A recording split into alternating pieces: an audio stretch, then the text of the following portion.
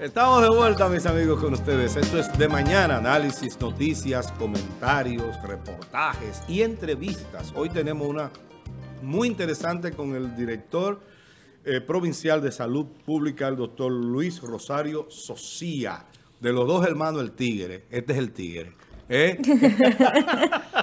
Lo que pasa son es que- igualitos. ¿no? De- definitivamente. Oiga, señores, miren. Buenos días, Luis. Lo que pasa es que lamentablemente, en todo el que es político, igual que yo, nos ponen una banda que dicen tigre, Tigre, corrupto, corrupto, ladrón. ladrón, delincuente. No, pero tú sabes que yo no lo digo por Oye, eso. pero oye algo, la- es nuestro sistema. Yo lo, yo lo digo porque... Eh, la- Por la personalidad, Exacto, por así tipo- como, un tipo mira, avesado, tú sabes. mira, así como yo lo escucho a ustedes en la pausa y en el comentario anterior hablando sobre lo que sería, el presidente plantea una reducción en los fondos que le entregan a los partidos políticos. Sí. Entonces veo a la gente que en los chats te dicen, no le entreguen nada, Quiten eso. no hagan esto, quiten eso, los cuatro, que se lo cogen. La ley dice que un- los partidos que sacan hasta un 5% Sí, le corresponde El 80%. el mazo. El 80% de todos los recursos La le corresponde a esos partidos. Pero hay que ver, si fuera de mi parte, yo regularía principalmente a esos que reciben el 80%. ¿Por qué? Porque reciben la mayor cantidad.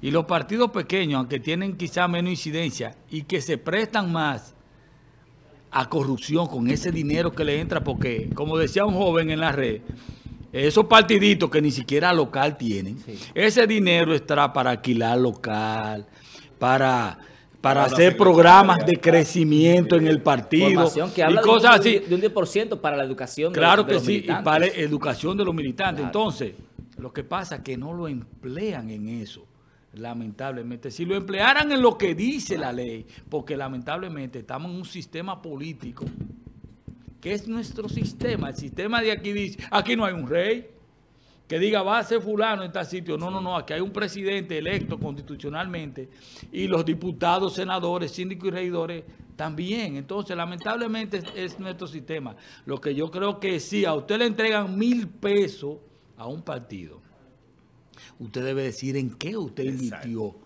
¿Usted está de acuerdo con que, con que el, Eh, el eh, Estado eh, eh, financie los partidos políticos? Es que, es que, óyeme, el sistema nuestro hace que tenga que financiar Pero la pregunta es, Luisito, obliga- perdón, es ahora para el 2021, que ese es el tema que estamos tratando. Oye, oye, oye, mira, no es posible que el país, el gobierno no lo financie. Porque, por ejemplo, cuando el PLD eh, eh, arma su congreso, Juan Bo, de, con todos sus dirigentes, Sí.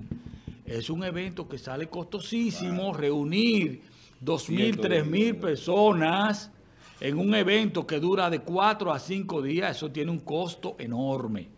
Entonces son cosas lo que yo creo que deben regular y que deben informar a través de la Cámara de Cuentas Sí. en qué invierten esos recursos. Si el presidente. El doctor es un político, él está claro de Luis, Oye, oye, yo estoy, claro, yo Claro, estoy- eso sí, ahora, yo estoy de si, si- Nosotros- si nosotros los chelitos son muchos, yo estoy de acuerdo que si hay que tumbarle la mitad que se la quiten.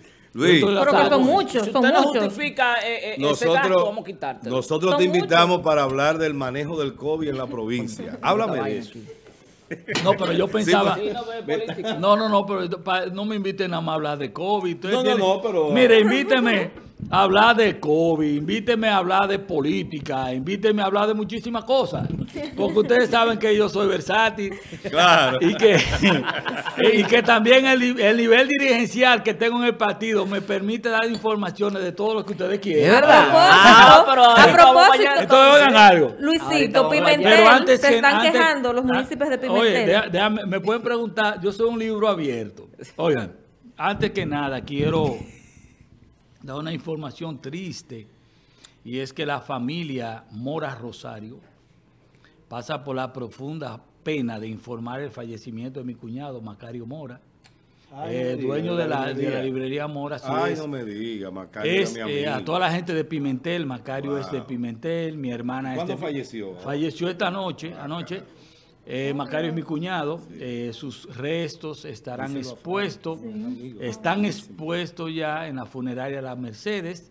Eh, vamos a velarlo ahí, respetando todo el distanciamiento Claro. físico. a los compañeros nuestros de Pimentel. Eh, se nos ha ido un amigo, un hermano, un padre, eh, y lamentamos el fallecimiento de Macario, mi cuñado. Ahora sí, seguimos. Vamos con el COVID. Señores, miren, ¿cómo estamos actualmente el COVID aquí, aquí en la provincia de Duarte? Hasta la fecha de hoy nosotros tenemos 1.554 casos positivos. Positivo no quiere decir que solamente a 1.554 gente le ha dado el COVID. Porque a mí me dio el COVID y no me contaron. O sea, hay muchísima gente que le ha dado el COVID y que no se han realizado la prueba y por eso no aparecen en los datos como, como en lo positivo. Tenemos de las últimas pruebas que se han hecho, seis casos nuevos, 269 casos que le estamos dando seguimiento de manera domiciliaria. ¿Qué significa eso? Y eso es muy importante. O sea que nosotros tenemos 269 casos registrados que están positivos, que son también entes de contagio. ¿Ustedes entienden? Porque entonces tenemos la persona en la casa, tranque, se pongan los solos en una habitación, pero todo el entorno de esa persona que también se le están realizando la prueba son entes también de, de contaminación. Tenemos 1.204 recuperados hasta la fecha y 165 fallecidos que se les realizó la prueba del COVID. Porque son números también que nunca estuvimos de acuerdo y que no estamos de acuerdo tampoco. Porque cuando fallece una persona que no se le ha hecho la prueba del COVID, no nos lo están poniendo como que falleció por COVID, sino que lo están poniendo por otras causas. Entonces tenemos de las 114 camas Pero, que... un te- doctor. ¿Cómo así? O sea, una gente fallece de COVID y le ponen otra causa. No, no, no. Oye, ¿qué pasa? Hay enfermedades sistémicas. Por ejemplo, el- un paciente, se murió un señor de Pimentel hace unos días con 87 años, pero un paciente diabético, con problemas cardíacos, y también tenía el COVID. Murió por COVID, a ese se le hizo la prueba. Pero tú puedes encontrar ese mismo paciente que fallezca en su casa y que lo haya agarrado el COVID, que no se, la- se le haya hecho la prueba y falleció por un problema de diabetes, por un problema cardíaco, hizo un paro cardíaco. ¿Tú comprendes? Sí, claro. Entonces, eh, es muy difícil a veces eh, darle seguimiento a todo el que se puede. Y, y por eso, en los meses de febrero y marzo, cuando hacíamos las denuncias de que si aquí en San Francisco de Macorís la media dice que en este municipio se mueren de 10 a 15 personas todos los meses y que rápidamente aumentaron a 60. Había que ver Entonces, vamos a verificar dónde están esos eh, 45 o 50 personas que no nos dice que se están muriendo por COVID, pero, pero que nos dice que se están muriendo por otra causa, pero que no aparecen en los fallecidos por COVID. ¿Tú entiendes? Correcto. Es un problema que lamentablemente es algo nuevo. Todo lo hemos ido aprendiendo a la carrera, tratándolo. Por eso eh, manifestamos que el mejor equipo de COVID que hay aquí en el país es este de aquí de San Francisco de Macorís, porque es el que más pacientes ha manejado y el que más situaciones difíciles ha manejado y es el equipo que más ha aprendido. Por eso desde Samaná, Cotuí hasta Hermanas Mirabal, todo llega aquí. Y entonces encontramos que se murieron tres, cuatro en San Francisco de Macorís. No, se están muriendo aquí porque aquí es que llegan todos los pacientes de COVID de la región. ¿Desde cuándo está así, doctor? Eh, que están llegando aquí. Sí, porque eh, teníamos la información específicamente de que ciertamente traían gente hasta de, hasta de Santo Domingo. Eh, De Santiago. Lo que pasa es que, el centro de Huiza es el primer centro que se preparó específicamente para atender el paciente de COVID de cuidados intensivos. Ahora, antes que los otros centros estuvieran preparados, venían hasta de Monteplata, Montecristi, directamente, directamente aquí al centro de Huiza. Ya tenemos otro centro preparado en la capital y en otras zonas del país que ya solamente aquí estamos recibiendo desde Samaná, Cotuí hasta Salcedo en ese, en ese cuadrante completamente. Pero terminarte con los datos de las 114 camas que tenemos disponibles para COVID. Tenemos 27 ocupadas y tenemos 87 camas disponibles, o sea que la cosa está más o menos bien. De los 28 ventiladores que tenemos disponibles para COVID, lo tenemos libre todo, o sea, al día de hoy nosotros no tenemos ningún paciente con COVID con un, con un ventilador. En los centros, entonces, tenemos siete pacientes en Huiza, de los cuales tenemos uno en cuidado intensivo, pero no tiene ventilador, Y de esos siete pacientes, tres corresponden a la provincia de Duarte y cuatro a otras provincias. Uno, un- uno de San Francisco, uno de Villarriba y uno de Barraquito, lo de aquí de la provincia de Duarte. En el siglo XXI tenemos dos de San Francisco, uno de Villarriba y uno de Pimentel. Y atención Pimentel, a la gente de la calle Luperón en Pimentel. Se han muerto cuatro personas en esa zona de ahí. Hay personas positivas en esa zona, señores. Tránquense, mantengan el distanciamiento, porque entonces yo me meto allá con la policía, empiezo a trancar gente y el malo soy yo. Claro. Vamos a respetar el distanciamiento. Miren, eh, Y no se puede hacer un operativo para ubicar a esa gente, hacerle prueba y ver quiénes están infectados para tomar las medidas. no, inmediatamente aparece un paciente positivo. Se evalúan todas las personas del, del entorno, entorno, y sí. se les realizan la prueba. Entonces se envía el paciente a aislamiento y se aísla en su casa. Ahora, cuando ya el paciente tiene fiebre y tiene otros síntomas, ya sí se lleva a un centro clínico, ya sea a Huiza o a uno de los otros cuatro centros que tenemos aquí preparados específicamente para COVID. ¿Cuáles son Luis. esos centros? Son el, el siglo XXI, materno infantil, INEMED y el Centro Médico Nacional. Son los únicos centros que están habilitados para trabajar pacientes Nacional. Nacional, INEMED, materno y siglo XXI. Luisito, una pregunta. eh, ¿Cuántas pruebas se están haciendo diarias? Las, Aquí en mira, la por ejemplo, en el día de ayer se hicieron 86, pro- se tomaron 86 muestras PCR en la escuela Paulina Valenzuela del sector Ugamba. 86. 86 se anunciaron toman. aquí. Miren, se están haciendo operativos de prueba martes, miércoles y jueves. Y todas las instituciones públicas que han requerido que a todo el personal se le... se le- mañana van a Edenorte y a todo el personal de Edenorte se le van a tomar la prueba. Eso, cada director de institución que requiera y solicite que se le realicen la prueba, a todo su personal se le envía. Además, se fue a Jaya, se fue a La Peña, se ha ido a Pimentel, a Las Coles, al Bajo Yuna, Castillo, donde quiera que requieran y aparezca un paciente con COVID positivo, inmediatamente el equipo epidemiológico de salud pública va a la comunidad y se hacen los levantamientos y se toman todas las pruebas. Y cualquier persona que no tenga el dinero para pagar una prueba en referencia, solamente tiene que ir a salud pública y allá mismo se le toman las muestras y se envían a la ciudad de Santo Domingo. Todo el mundo, hay pruebas para toda la población, totalmente gratis. Ahora debemos entender que si usted no tiene ningún síntoma de COVID, usted no tiene para qué eh, utilizar una prueba que la puede utilizar una persona que realmente la necesite. Doctor, eh, en principio veíamos que existían eh, lugares, ¿verdad?, para reclutar a las personas con COVID, pero que no, que no tenían, no estaban en estado de gravedad, que no necesitaban estar hospita- hospitalizados.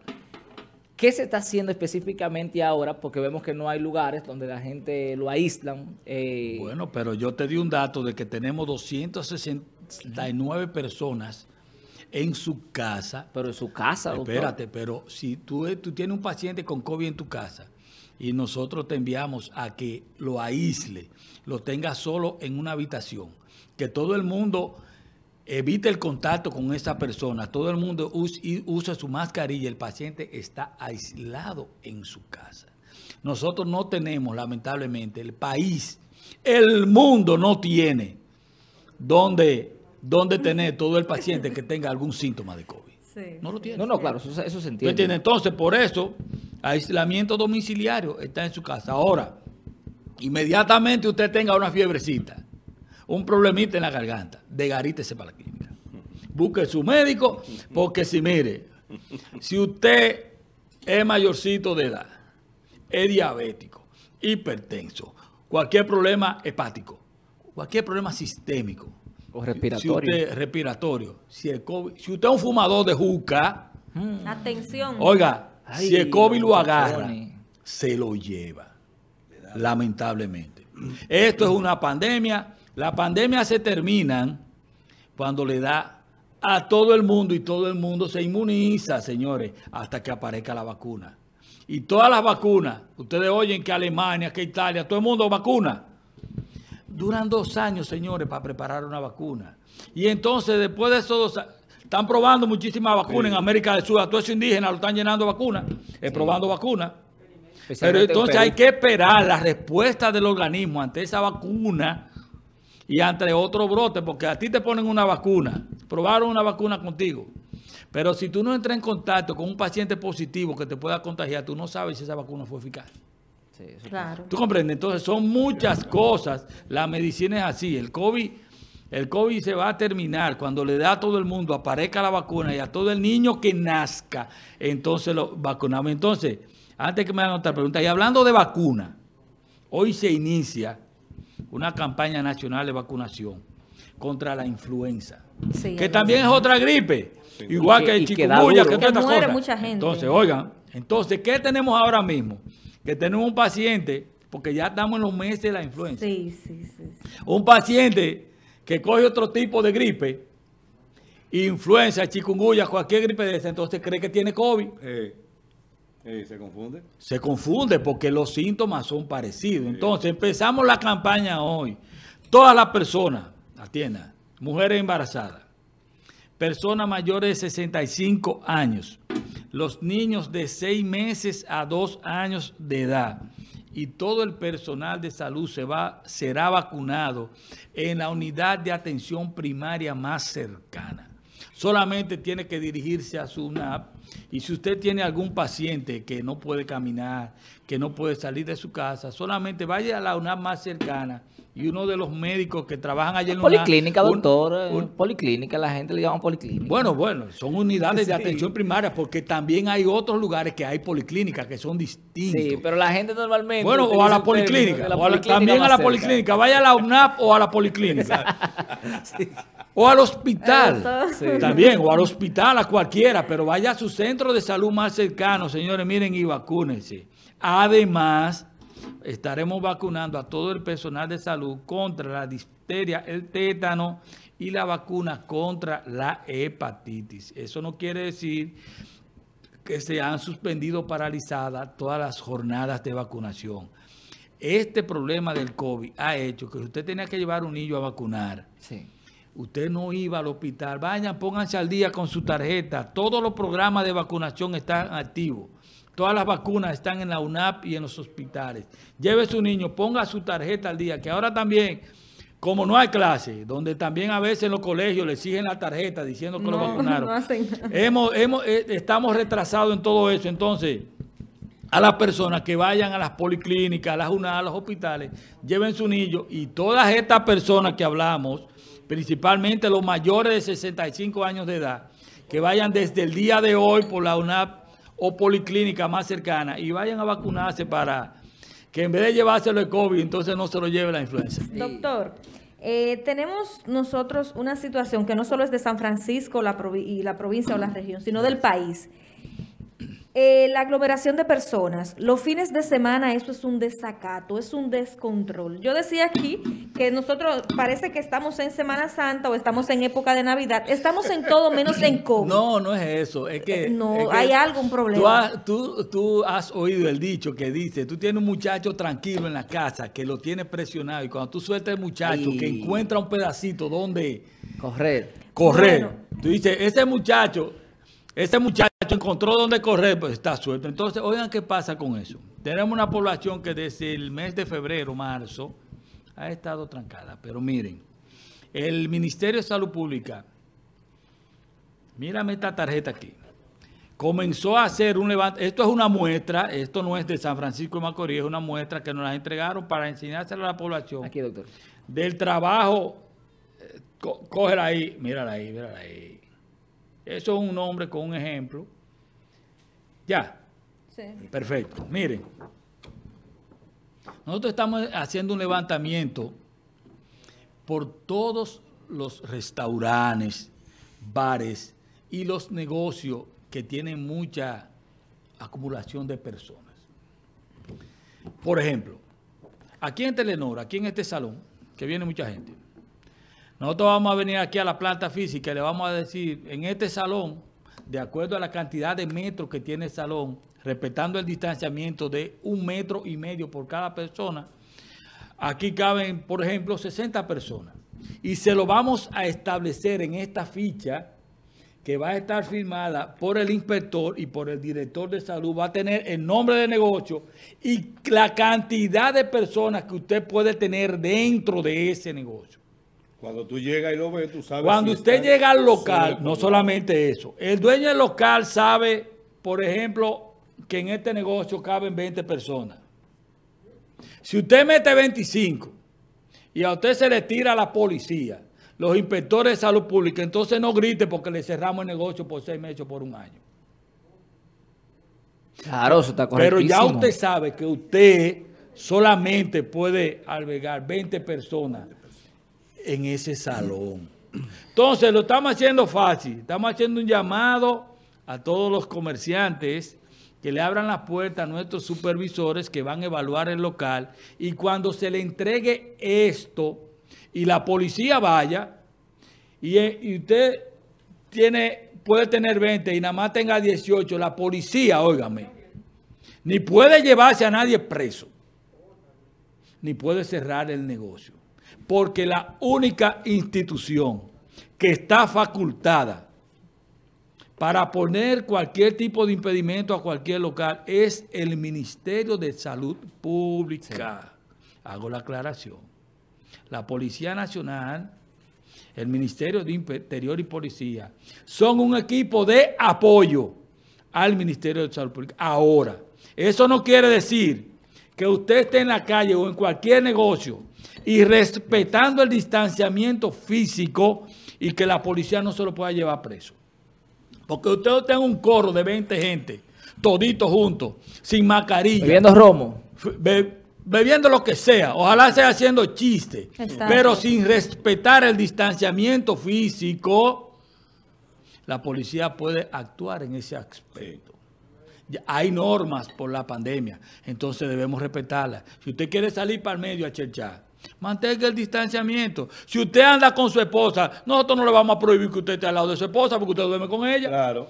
¿Usted entiende? Pero si usted tiene otra persona que no está en su entorno, que no vive con usted, entonces mantenga el distanciamiento y así vamos a evitar el contagio. el contagio. Todos los negocios van a tener esta ficha en toda la provincia porque se están instalando supervisores en todos los municipios y en todos los distritos y se están haciendo los levantamientos de rigor para a cada negocio darle su cartilla que dice la cantidad de personas que puede permitir en cada establecimiento. Doctor, esta, esta, eh, este trabajo me parece algo fenomenal, eh, partiendo de que no se había hecho anteriormente. Pero saliéndonos un poquitico del tema ya del COVID, eh, me gustaría preguntarle si aquí en la provincia, bajo su dirección, se tiene pensado hacer un plan parecido, pero con los negocios de, de- de- venta de, comida para la supervisión. Por ejemplo, que aquí nadie supervisa o supervisaba, ¿verdad? Eh, lo, que tiene que ver con, con el aceite de la fritura. Nadie supervisaba, por ejemplo, el manejo de los alimentos en, en, eh, de comida rápida. Salud Pública, bajo su dirección, tendrá, tiene un plan o piensa desarrollar un plan con relación a esto, a regularizarlo y a, y a supervisarlo. Mira, salud pública tiene departamento para todo eso. Lo que pasa es que si los departamentos no actúan, las cosas no se ven. Yo recibí, cuando yo entré al despacho, una serie de tarjetas de levantamiento que se hicieron en el negocio de aquí de San Francisco de Macorís, que hicieron los inspectores, y no la he devuelto, porque yo voy a revisar de nuevo. Entonces, un levantamiento que no fui yo que lo envié a hacer. Y me la llevan, tenga doctor, fírmela. Oigan eso. Están todos parados allá, así es que los comerciantes que enviaron su solicitud, incluyendo la sirena, supermercado grande de aquí, que esperen que un equipito nuevo va a hacer de nuevo el levantamiento donde yo sepa en realidad cuáles son los resultados. Y si son los mismos el levantamiento que se hizo, amén, perfecto. Claro. Pero yo no puedo firmar un levantamiento que se hizo, que no fui yo que lo envié a hacer. Y no sé tampoco bajo cuáles parámetros se hizo el levantamiento. Entonces, todas esas pequeñas cosas, yo estoy consciente que todas se deben mejorar, porque todas van en deprimento de la población. ¿Entiendes? Miren, Pero aquí no se ha cerrado aquí, por ejemplo, en, en la provincia, yo no he escuchado nunca que se haya cerrado un negocio por, Ya. por insalubridad. Pero, tú- mira, pero esa cosa oye, del y aquí- aceite, ¿tú aquí- por qué no sabes? y Mira. aquí hay lugares que tú vas que tú dices, Mira, pero déjame- bueno, mira ayer ya. Aquí hay lugares, fritura, que el aceite, el aceite después que usted lo usa, entonces lo meten en galones y se lo venden a otra fritura Sí. para que sigan friendo. Oye, esa vaina.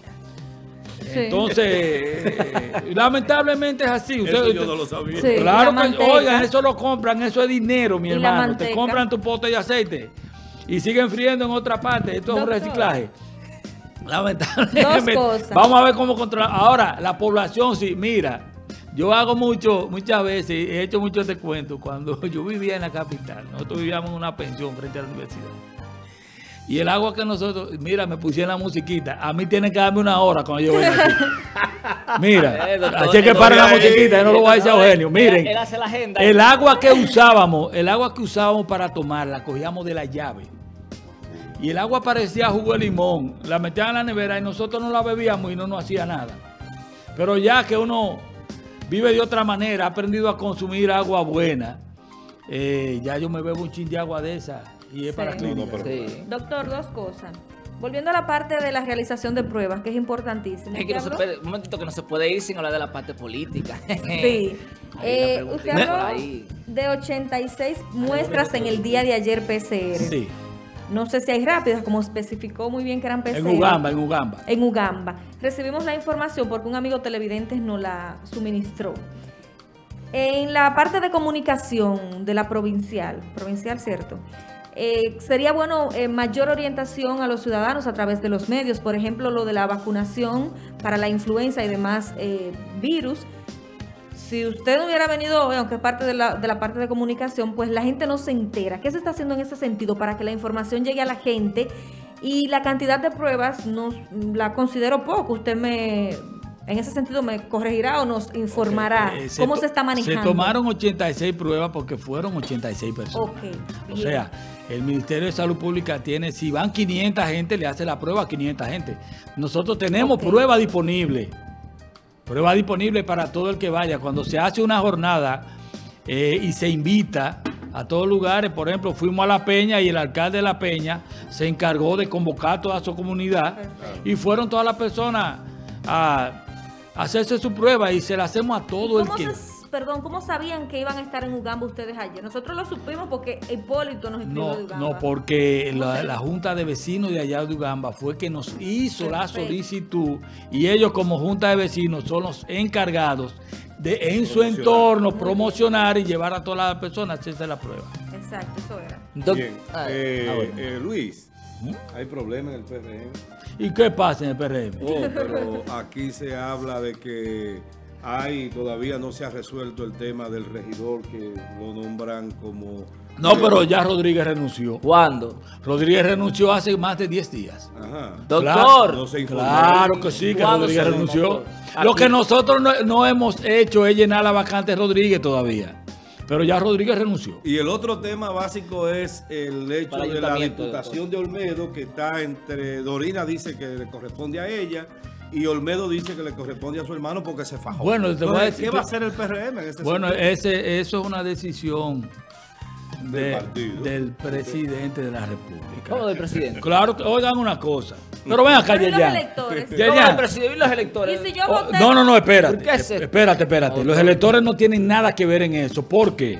Ajá. Porque usted está hablando de una vacante en el Congreso que la ley establece que el partido debe pre- eh, presentar una terna de tres personas y entonces el Congreso decide entre esas tres personas Correcto. quiénes son. Ahora el partido, encabezando por el presidente de la República, decidirá quiénes son esas tres personas que van en la terna. Yo quería que me pusieran a mí. Claro, para Pero llegar por ahí sin pasar por pero vos. Usted no fue, pero ¿cómo usted es, no fue doctor? candidato. Hasta No, ahora. Así pero es que habla- la ley- Así mismo lo es el hermano de Olmedo Déjame decirte algo, Carolina. La ley no establece que para usted estar en la terna haya sido candidato. Sí.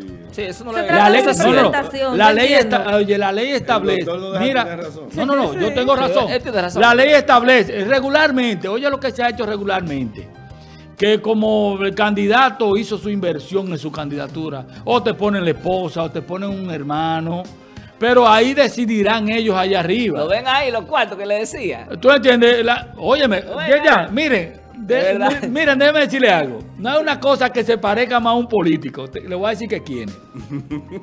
que un comunicador. Verdad. Que un miembro de participación ciudadana. Óigame. ¿Y por qué? que- oiga, porque, porque todos tienen aspiraciones políticas.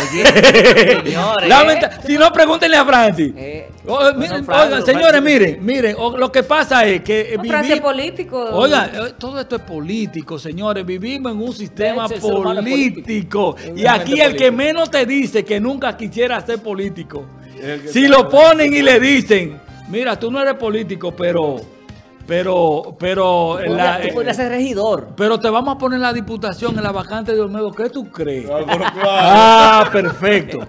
Pero no quiere decir que esté bien. pero tú entiendes, entonces, lamentable, ahora que tú me digas que hay cosas de la ley que hay que cambiarlas, sí debiera ser. Y que si así como tú dices, Que no siempre la ley es justa. tú entiendes, pero, Eso, pero ahí- así ahí como tú dices, el que, que te dijeran, ok, si un diputado sale, vamos a darle la diputación al que quedó atrás. Sí, más al, cerca. al segundo más Si fuera por mí, si óyeme, fuera lo mejor. oye, fuera lo mejor. Vamos a legislar para él. ¿Tú comprendes?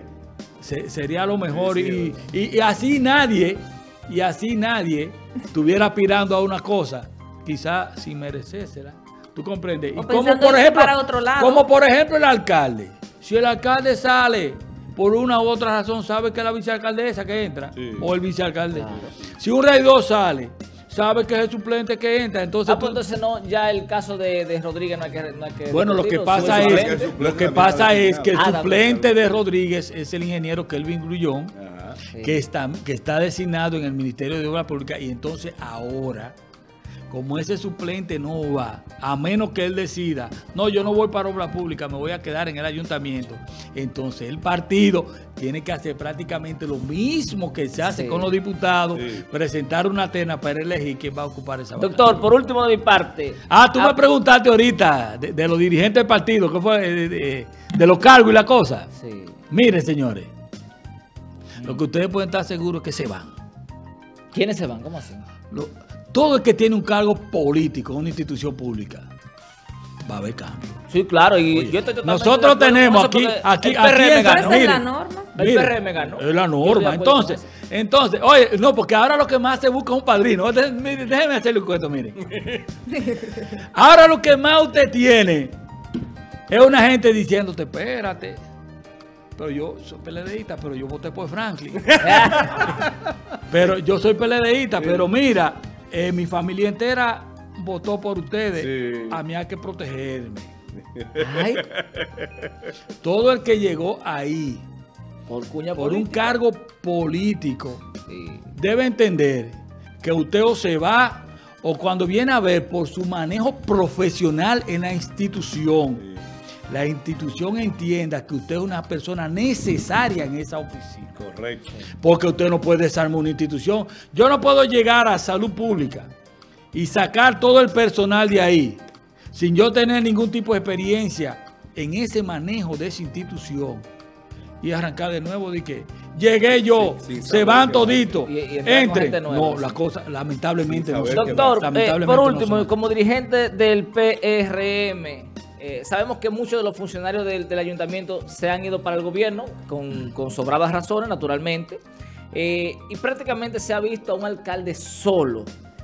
No, no tiene el PRM esa reserva para ir Pero tú dices gente. solo porque Canela se, le fue. No, pues se fueron muchísimos. El, el- el alcalde dijo aquí, en este programa, que Sí. 21, eh, eh, 22 de 24 funcionarios se le fueron. Pero la mayoría no de- tiene el PRM Oye, una reserva ahí para Pero, ocupar. pero, pero oye una cosa. Ejemplo, ¿quién está en cultura? Oye, una cosa. En medio ambiente. Mira, déjame decirte algo, pues yo fui alcalde. Todos los alcaldes viven gritando por el exceso en la norma. Si el alcalde municipal nuestro, mi amigo y hermano Siquio NG, con esa gente que le vamos sacando, yo creo que se va a ir poniendo a tono a lo que dice la ley. Entonces, lo que tiene que elegir, qué personal usted tiene que le pueda realizar el trabajo que usted necesita en esta institución. Siquio es un gerente y lo ha demostrado en su vida profesional y en su vida Siempre. política. Un ayuntamiento, sea cual sea, solamente hay que gerenciar. Así es.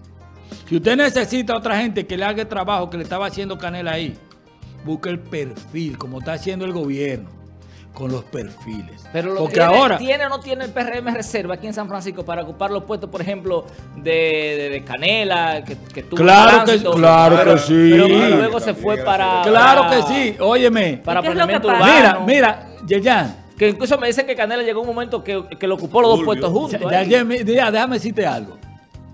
Eh, todo el que quiera un expediente, 100, 200, 500, 1000, que me lo pidan. Porque yo sí tengo expedientes de gente que quiere trabajar. Aquí lo que más hay personas con deseo de trabajar. Tú estás diciendo entonces como que es que no quieren... O- Oye una cosa, oye una cosa, pero Siquio es un administrador. Es un administrador que pida personal o que lo busque de su entorno, porque es un dirigente más viejo que yo. Así y él es. tiene personas, y si a usted cambia su tesorero, busca una gente que cumpla con los requisitos y con el perfil, perfil, de un tesorero que pueda hacer un buen trabajo. Pero- Entonces, y oye una cosa, Carolina, mira un llamado a todos los dirigentes nuestros del partido De la 10. que tienen, están desesperados porque no llegan los nombramientos y todas esas cosas. Se está trabajando con perfiles profesionales. Doctor, eh, Ay. ¿alguna Pero déjame persona- acabar de decir Ah, esto, Carolina, sí, mira. sí, sí. Que A se, la- mira, la 10. a los dirigentes que se estén tranquilos, que nosotros tenemos aquí aproximadamente 5 mil espacios disponibles para todos los dirigentes del partido y que todos, todos, todos sin excepción, todos van para el gobierno. Dime, Carolina. El, el doctor es como, un- es como, un- el doctor es como Julio Vargas. que hace una pregunta a través Y- del WhatsApp. El doctor es como, como- Y mira, déjame Julio Vargas, decirte, si gracias. hablar. Mira, y mira, que hemos tenido muchos problemas con los cargos regionales, porque, por ejemplo, cualquier posición, un director regional, que también la quiere, también la quiere Cotuí, la quiere Salcedo, la quiere Nagua, la quiere Samaná. Pero tenemos a Chubaca en Agua también majareteando su cargo para su gente. Entonces hemos tenido problemitos ahí que gracias, gracias al trabajo que, que han hecho en la capital, Franklin Olmedo, es que hemos conseguido lo que tenemos y somos al día de hoy la provincia que más directores provinciales y regionales tiene eh, ocupado ya en el gobierno. Muy bien. Mira, Eso algunas es importante. hacen pregunta, doctor. Ardelis Rosario dice, buenos días, es para decirle que en la Yagüiza hay muchas personas con COVID, que investiguen eso en la Yagüiza. Dice otra persona, el ¿Qué 0708, piensa ella? que por qué están durando tanto para entregar los resultados. Sí, te, te voy a hablar de eso ahora. Mira, en la Yagüiza solamente a través de su junta de vecinos hay COVID en todas partes. Si no hacen una solicitud formal, inmediatamente en esa semana se va allá y se toman todas las muestras. ¿Por qué se está durando tanto tiempo? No es, no, no es por deficiencia, es que una prueba PCR dura aproximadamente 4, 5 y Así 6 es. días para dar los resultados. Entonces, ¿qué se está haciendo? Cuando usted se están realizando también pruebas rápidas y cuando una prueba rápida eh, te da falso positivo, entonces se le hace la prueba PCR. Correcto. Entonces, tú comprendes, entonces no es, no es por deficiencia del trabajo, sino es que la prueba exige una cantidad de días para eso. Ahora, oye algo, Carolina. Estamos trabajando en la habilitación rápida del San Vicente de Paúl, el área de laboratorio, para que se procesen las pruebas aquí en San Francisco de. Macorís. Y buena- el centro médico, oye, pero hoy hay otra mejor. Ajá. Hay otra mejor. El, el equipo que tenemos en el San Vicente de Paúl procesa cuatro muestras cada, cada hora. Significa que podemos procesar 48 muestras por día, pero el Centro Médico Siglo XXI eh, va a traer un equipo que va a procesar 90 pruebas en una hora. Magnífico. O sea, que lo va a hacer más rápido inclusive de cómo lo hace el laboratorio. de de respuesta una capacidad de respuesta Muy- rápida. Muy bien. Señores, Pero ya hay estamos, decirlo, habilitando no lo eh, para eso. interrumpimos. El doctor está en eso. Nos vamos a las 11. No hay que dar la semana de entrevista. U- Exacto, hay que traerlo de nuevo. Así que Giovanni, ya tú sabes, porque hay muchas cosas que completar ten con eso. Luis Rosario. tiene- oye, tienen que- director provincial de salud, dime. Oye, lo ¿Quién que Dime, en dime. comunicación allá en la provincial? Bueno, en la provincial ya nosotros solicitamos no, no, no, no, no, no, en la provincial Nosotros informados. oye, nosotros solicitamos al Departamento de Recursos Humanos que nos creen la plaza Claro. para dos personas en el área de comunicación, que eso existe en la regional que no había aclarado del Servicio Nacional de Salud. Que nunca funcionó, hay que decir. No, no, espérate, espérate. Nunca funcionó. Ah, Yo- que yo nunca funcionó. Yo, yo lo digo yo, de manera Bueno, responsable. pero déjame aclararte Eh, algo, Yerian. El. Servicio Nacional de Salud, con respecto y A lo ver, que es salud pública, el Servicio Nacional se encarga de la administración de salud. Por eso, bajo la dependencia del servicio están todos los hospitales y toda el área administrativa. Salud Pública se encarga directamente con enfermedades. Llámese COVID, llámese dengue, llámese malaria. Hay campaña también ya que arrancó de vacunación de perros, la gente que tiene su mascota, todas esas cosas. Bien. Pero ya Tiene, tiene que volver, doctor. Pero me tiene que dar una, me tiene que dar una hora cuando yo venga para acá. Sí, sí, una semana a Luis me eh, la participación. Hay un saludo. Oye, oye, oye, Yerjan. Sí, sí. Yerjan, mira, atiende. Vamos a ver. Oye, Yerjan. Nos vamos a la pausa. no espérate. Un Claro. saludo, besote grandote a Lía, a Lian, a. Pedro Luis, a Scale, a Mariloy. Son mis hijos, Eh, señores. están ahí. Saludos para él. Bueno, nos vemos en Muchísimas breve. gracias. Todavía queda más.